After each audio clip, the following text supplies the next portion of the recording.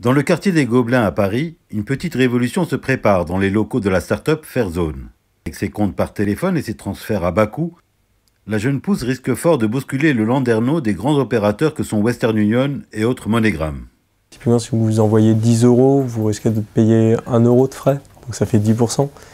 Mais en moyenne, euh, oui, sur, on va dire sur des montants normaux d'envoi, à partir de, entre 100 et 300 euros, ce sera à peu près entre 1 euh, et 3-4% selon euh, le pays de destination, le mode de livraison, etc.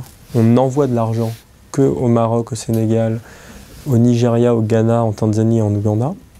Normalement, d'ici la fin de l'année, on devrait ouvrir une grosse dizaine d'autres pays d'Afrique et assez rapidement derrière des pays d'Asie et d'Amérique latine.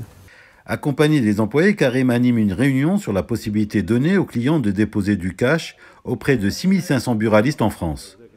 Le dirigeant et fondateur de Fairzone, Arnaud Jacquin, écoute, prend des notes et abonde dans son sens sur l'importance des bas coûts. Avec par exemple 10 euros ici, on ne peut pas faire grand-chose. On ne change pas le monde avec 10 euros. Par contre, 10 euros dans certains pays euh, émergents, bah, ça, permet, de nourrir une famille pendant une semaine. Ça permet de payer euh, euh, quelques mois d'accès à Internet. La base, c'est une pièce d'identité et un justificatif de domicile ou de domiciliation. Voilà. En fait, nous, on a travaillé, grâce à un service compliance exceptionnel, on a travaillé sur l'accessibilité. Donc, c'est pour ça qu'on arrive à travailler avec des, avec des, institutions comme France Terre d'Asile, euh, le groupe SOS, même l'OFI, sont intéressés par notre produit parce que euh, on a une souplesse euh, qui nous permet d'être en conformité, tout, tout en étant accessible. On a travaillé pour avoir le plus de possibilités de chargement et le plus de possibilités de livraison. Donc en chargement, parce que c'est important pour nos clients d'avoir le choix.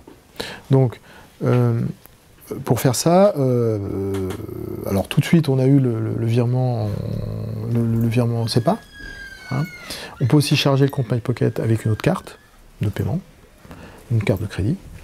Et là, bientôt, il va y avoir le chargement en cash sur 6500 buralistes répartis sur toute la France. On doit tout pouvoir faire à partir d'une application sur mon smartphone parce qu'aujourd'hui, on fait tout à partir de ça.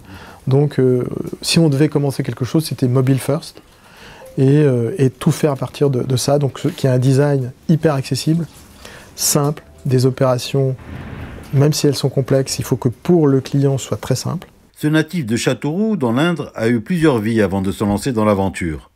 Fasciné par l'humain, Arun Taziev et le commandant Cousteau, il passe par la musique, la biologie et le commerce international, avant de se lancer dans l'aventure du transfert d'argent par le biais d'un article. C'est un, chemin assez long, mais qui a été déclenché par la lecture d'un article qui parlait d'un prix Nobel de la paix, euh, prix Nobel en 2006, Mohamed Younous.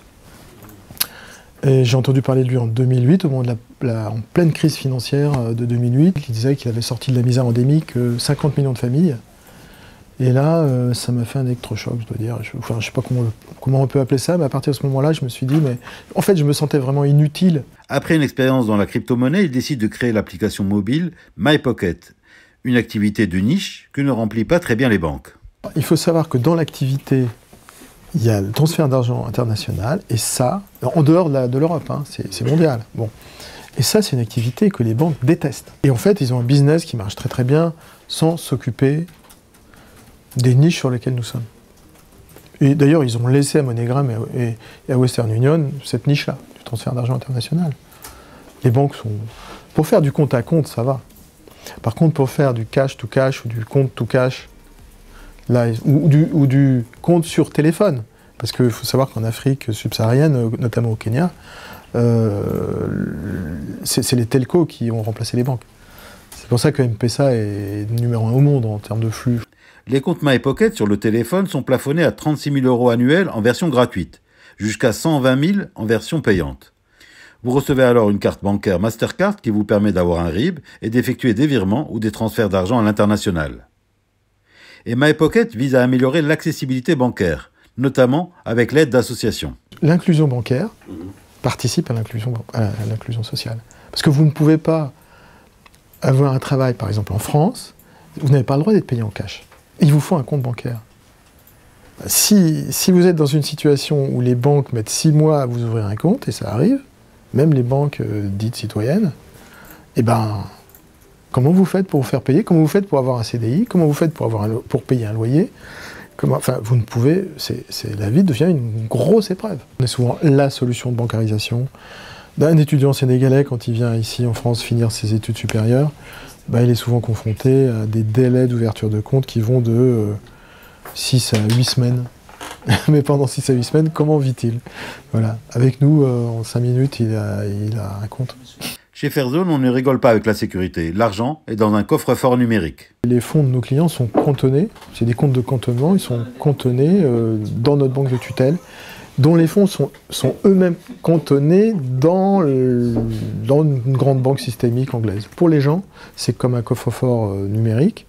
En fait, c'est toujours leur argent. L'objectif est clair pour MyPocket 40 000 comptes actifs et 1 million d'euros de chiffre d'affaires d'ici la fin 2020. Arnaud Jacquin espère bien remettre l'humain au cœur du système bancaire. En fait, toutes les raisons sont bonnes pour venir chez MyPocket. c'est comme ça que je pourrais le résumer.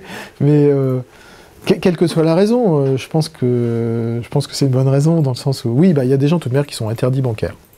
Ceux-là, ils sont les bienvenus chez nous. Nous, on n'a pas de conditions euh, de revenus. franchement, tout le monde est bienvenu, qu'on ait beaucoup de revenus ou pas.